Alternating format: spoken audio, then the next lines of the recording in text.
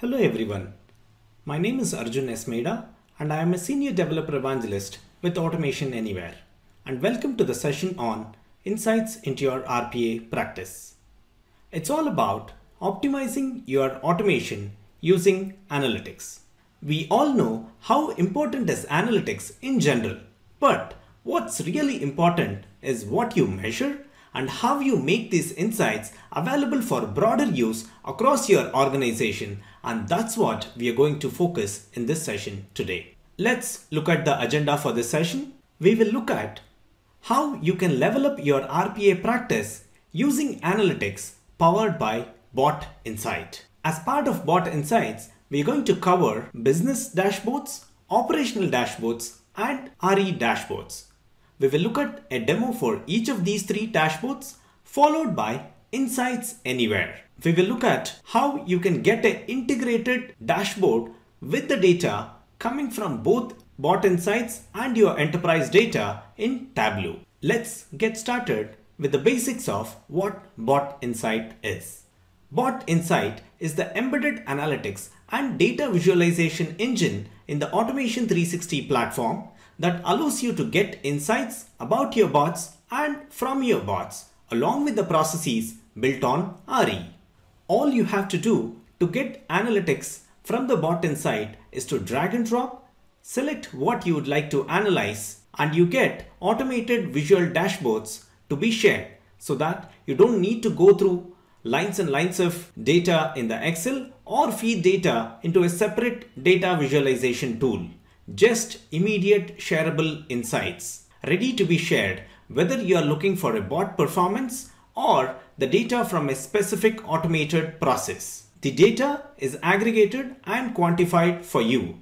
And these dashboards are interactive. You can slice and dice, you can filter through different attributes and customize it as per your business needs. Let's get deeper into measuring what matters.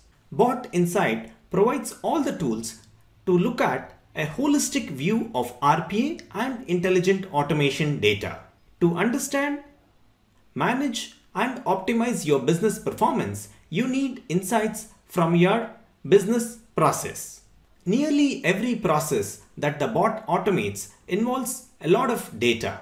This data can easily be converted into insights whether with just a single bot run but it gets better over time.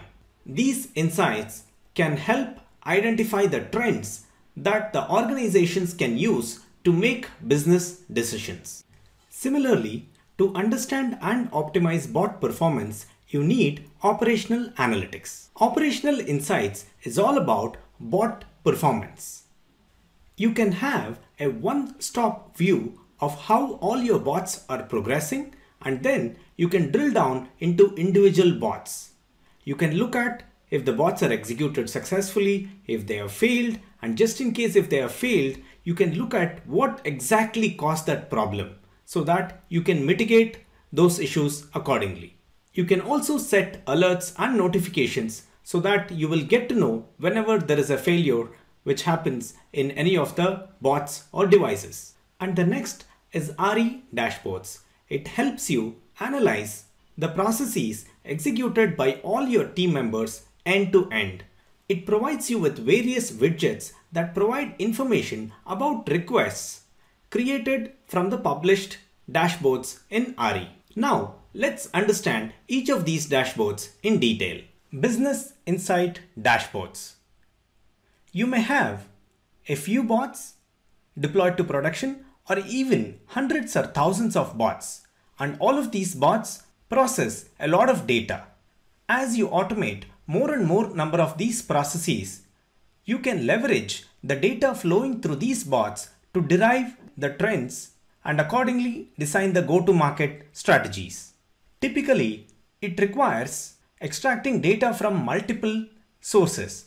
Let's see how you can leverage this data to derive insights. Let's look at a demo. Here is a bot which will process the data from supermarkets across three cities. We will focus on analyzing a few key variables such as cost of goods sold per city, product line, and ratings. We have to tag these variables so that we can analyze them in the business dashboard. To do that, let's use the package called analyze. I will drag and drop the action called open just at the beginning of the loop and then I will also use the analyze close at the end of the loop. And now on the right side in the properties section, we can see the variables which are available for us to tag them. As discussed earlier, I'm going to select goods sold, product line, city and rating. I will click on save and now these variables are tagged to capture the values such that we can analyze them in the business dashboard. Let me execute this bot. Once the bot completes its execution, we can go and take a look at the values which were captured as part of this bot and then see how we can analyze them in the dashboard. Now that the bot is successfully completed, I will click on these three dots next to the close button and select the option Analyze Task Bot. As you can see here, this is the business dashboard which is automatically created based on the variables we had tagged in the bot before execution. Now let's see what this dashboard consists of. On the left side, we can see there are various attributes based on which we can filter the data. Now let's look at a couple of widgets which are displayed here. The first one is it is showing the total rating. However, for the rating, it would matter if it has an average rating than the total rating. So let's see how we can change this. Click on these three dots and click on settings. And as we can see here, the metric is rating and it's aggregated by sum. Instead, I would like to aggregate it by average. So let me change this value to average and also change the chart title to what's the average rating. Click on next and click on finish. Now we can see that the average rating 6.5 is displayed. Let's look at the next donut chart. Here it is showing how does rating vary by city and again the ratings are all summed up. Instead I would like to see the cost of goods sold by city. Let's make the changes. Click on these three dots and click on settings. Now I will change the metric from rating to goods sold and then click on next and finish. Now we can see that this chart displays the cost of goods sold per city. However, I missed out to change the title here. Let me just go back and change the title quickly. I'll have the title as how does goods sold vary by city. Click on next and then click on finish. Moving on to the next donut chart. Here it is again showing me how does rating vary by product line. This is good, but I would like to see the rating aggregated by average instead of the sum. So let me change this again. Click on settings and then aggregate by average. Click on next and click on finish. Scroll down and here we will see a few more bar charts displayed here. Let's change the rating distribution by city, which is aggregated by sum into aggregation by average. Let's do that here and change the aggregation to average. Click on next and finish. Now we can see that the information is aggregated by the average of the rating. In the next chart it shows the rating distribution by product line and again it is aggregated by sum. So let me change this to average.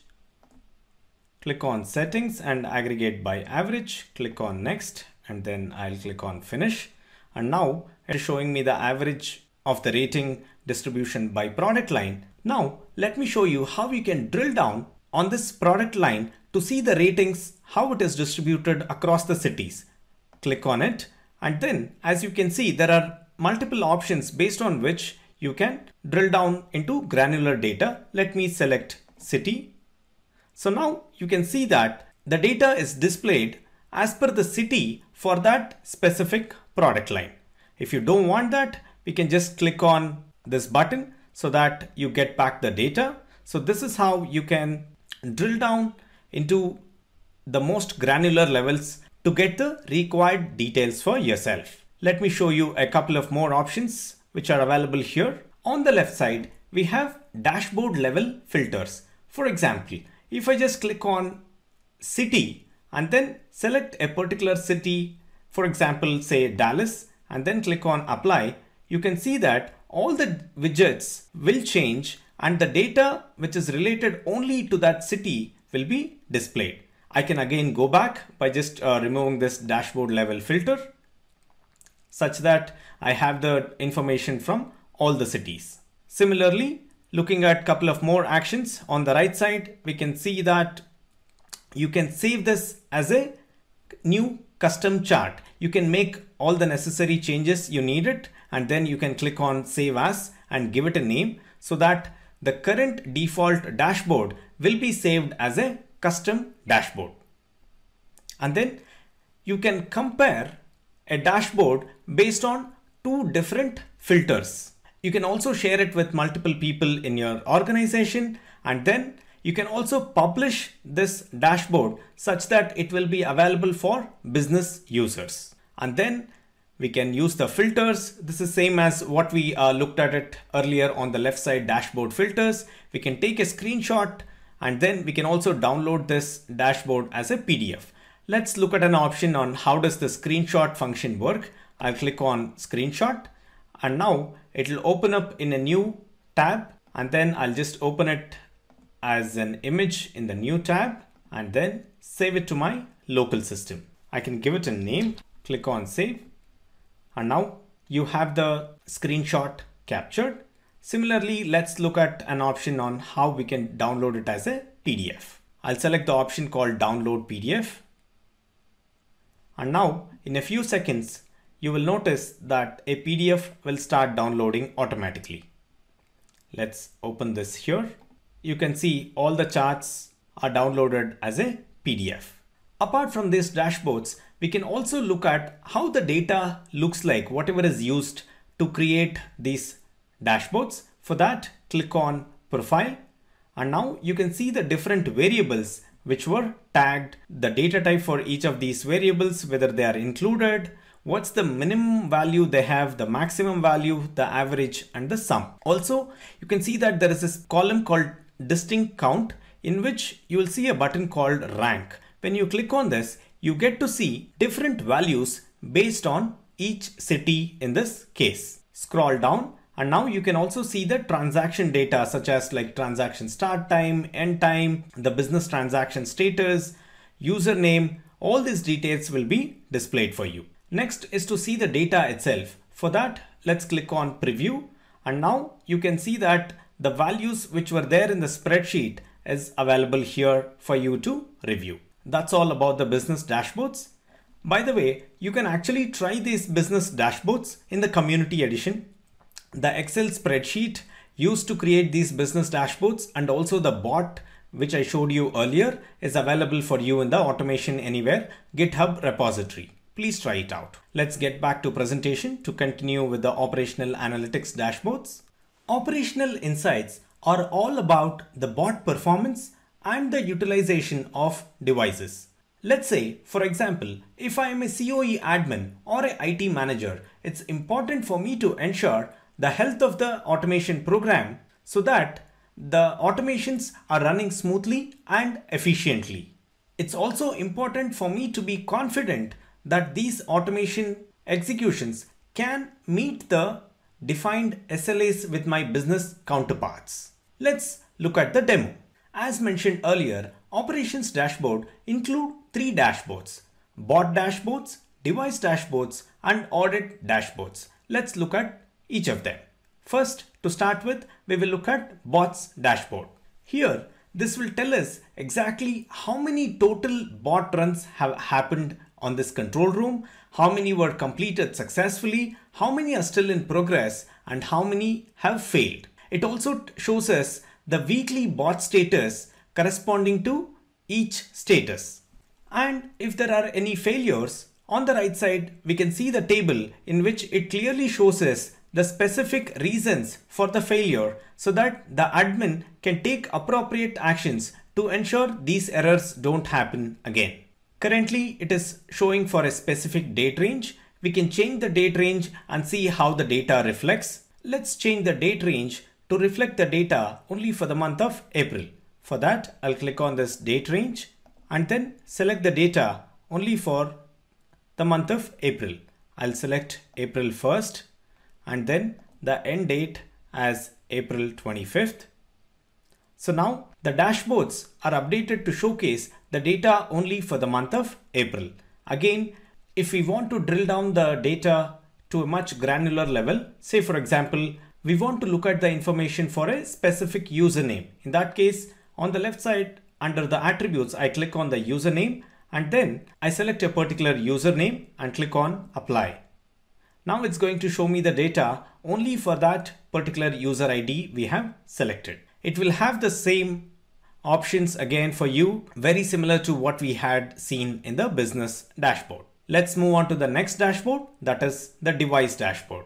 This dashboard shows you how many devices are currently connected to this control room and online. In this case, we can see we have one online device and four offline devices. If there are any bots which are scheduled to run on these devices, it will also be displayed here.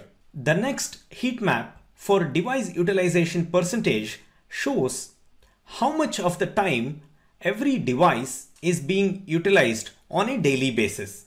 As we can see for this specific date, this device was used for 61.81% and remaining were not used.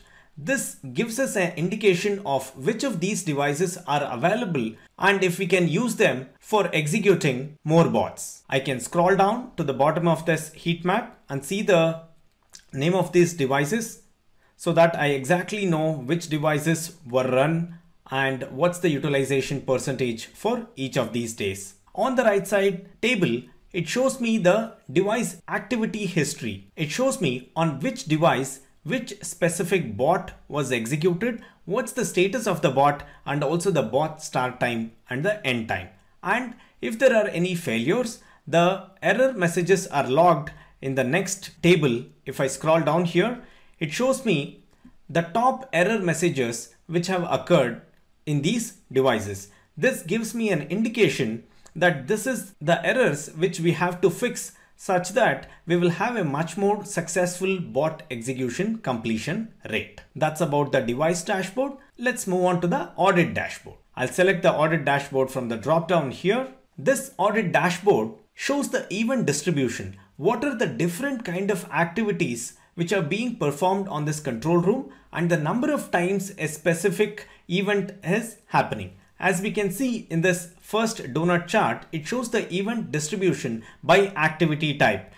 For example, the bot sent to device has happened 1307 times. Similarly, you can see all the different events triggered and the number of times it was executed. On the right side table, event distribution by username shows us which of the users are active on this control room. And then we can again drill down into a specific user to see which are the different actions which the user has performed. For example, let me click on this particular user and then select the activity type. So now it shows me the list of activities performed by this user again in the descending order. We can change uh, all the parameters required by again clicking on these three dots and selecting settings. Scroll down and here you have two more charts which shows event distribution by source and also by the control room source specifically showing what are the different events which have happened. That's all about the operational analytics dashboards. Let's move on to the next one that is AARI dashboards. With AARI dashboard in Bot Insight, you can analyze the processes executed by your team members end to end. It can vary from a simple summary to a cross-sectional department view. Let's look at the demo. We are in the AARI dashboard page now. As we can see, we have a dashboard created by default. Let's click on it to see the details. This dashboard shows you the number of requests in different statuses. For example, how many requests are currently open, how many are completed, how many were cancelled, and how many were even failed. In the request creation percentage heat map, we can see for specific day which of the requests were created. For example, let's say on a specific date, April 21st, we can see that this particular process proof of funds letter generation was created for 50% of the total number of requests created on that day. And there is another process for which 50% of the requests were created. Accordingly, we can see the data for the last 10 days in this heat map. In the request activity history, we can see which process was executed, who is the user who executed that particular process, what's the current status of the request, the request time started, ending, and also there's a specific ID assigned to each of the processes whenever the request was created. That's about the AARI dashboard. Insights Anywhere with Bot Insight. The goal here is to ensure you can not only see the automation data just in Bot Insight, but also in the data visualization tool of your choice. For example, a lot of organizations, especially large organizations, have already invested in certain data visualization platforms such as Power BI and Tableau. The goal is to ensure you have all the enterprise data being aggregated in one place available for business executives to take strategic decisions. And we don't want the automation data to be present in a silo.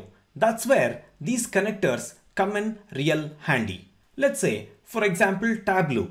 It's already used by enterprise customers for all their data visualization needs. And now we can see how we can get the data from the bot insight into Tableau dashboards. As some of our customers have already invested in Tableau and have also trained their employees to use the dashboards in Tableau, it becomes easy for them to bring in the data from Bot Insights to Tableau so that they don't have to learn a new BI tool. Let's look at a demo in which we will combine the data from Bot Insights and also the data from a different source. Just for the demo purpose, we will get the data from my Excel, but in your organization, you may be pulling in data from any of the CRM tools like Salesforce or any of the marketing automation tools, or it can be the data from any of the HR or finance departments also. Let's see how we can combine the data from different sources and utilize the data coming in from the bot insight in Tableau dashboards. For this demo, I'm going to use Tableau Public. To start with, I will click on Web Data Connector to get the data from the bot insight. First, let me go to the login page here, enter the control room URL, the username and the password. Once you enter your credentials, click on submit. And here it provides you an option if you want to bring in the business information or the operational information. In this case, let's select the business information and click on get data. It's going to execute a query and then pull in the data from the bot insight.